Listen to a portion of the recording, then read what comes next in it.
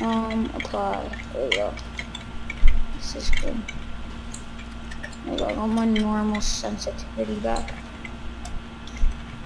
Yeah, I'm gonna go Wait, when since when did this have physics? Yo, I'm so what the heck?